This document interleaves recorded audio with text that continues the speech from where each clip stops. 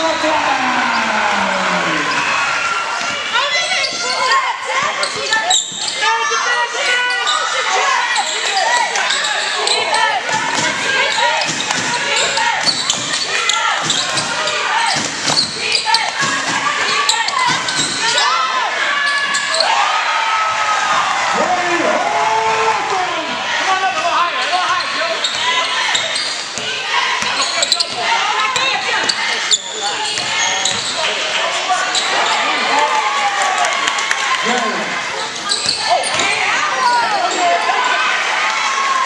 Coach, it was your first conference home game. You played a tough team. Uh, how did you think of your team's performance?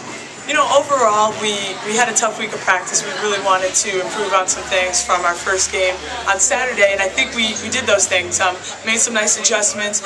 We were quicker to adjust out of timeouts and off the board and at halftime and such. So it was nice to see those sort of improvements. At the same time, you know, um, giving up 77 points, I think we're going to have a hard time winning a lot of those games. Um, so we definitely need to, to tighten up on defense, and I think tonight a big part of that was uh, we gave them 13 second chances. So um, and they ended up shooting the ball 50% from the floor, and I think that was a big part of it. Uh, also, you know, their three key players did what we thought they could do. Uh, we need to find a way to try to stop that in the future. Um, how do you think your freshmen did in their first big game at home? You know, I was pleased with the freshman performance. Uh, you know, I was hoping that they'd kind of come out and have that attitude, like who's Franklin Pierce or who's anybody in the conference, and just kind of use that, uh, you know, naiveness in a good way. But um, I think they did well. You know, it was nice to see Allie kind of come out of her slump.